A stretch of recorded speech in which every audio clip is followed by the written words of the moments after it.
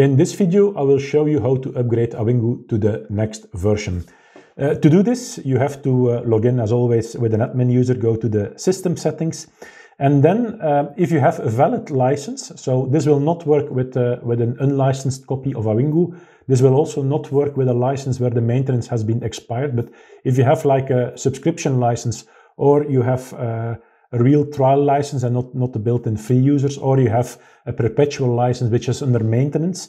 And whenever there is a new version of Awingu available, you will see that if you go to the uh, section upgrade versions of Awingu, it will show you all the uh, available versions of Awingu where you can upgrade through. So in my case, I'm currently on Awingu 501. Uh, Awingu 502 is, uh, is available. So if I would like to upgrade to that version, I just need to uh, need to select it and then click on uh, download and upgrade.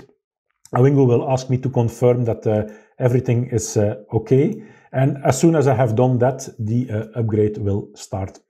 Uh, be careful, upgrade can take somewhere between 15 minutes and one hour. It depends on the on the upgrade, on the on the speed of your hardware, on the speed of your database, on the speed of your disks. Um, the upgrade itself is done fully automatic. So once the update has finished, um, it will uh, become available again uh, for just uh, Awingu usage.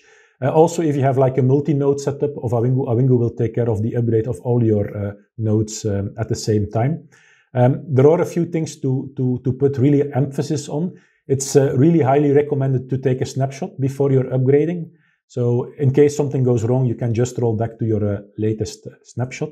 And also the upgrade itself can take a long time. So especially if you're upgrading, for example, to new operating systems, that can really take like 40, 50, maybe an hour uh, per appliance to, uh, to finish. So please don't reboot during the, uh, the upgrade. So as long as you see this, these spinners, it means that Awingu is doing something. Um, if there would be an error, it would be on the screen. Um, also take into account that most of the time when you're doing an upgrade, like the last step, uh, 11 of 11, or in this case 12 of uh, 12, uh, the orchestration can take a very long time. So uh, it's logic, uh, be patient, uh, don't reboot, um, and it can, can, take a while. But the important thing is this is just it. So once the the update has been started, it will update you to the to the next version. also take into account that during the update there will be service interruption.